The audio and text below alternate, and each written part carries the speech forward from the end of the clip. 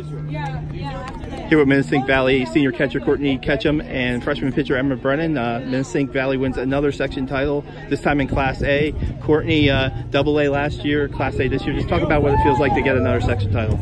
It's, it's really just the best feeling in the world. Like working hard all season for this moment and pulling through, having everybody do what they're supposed to do. It's the best feeling in the world, having everything come together finally at the end of the season.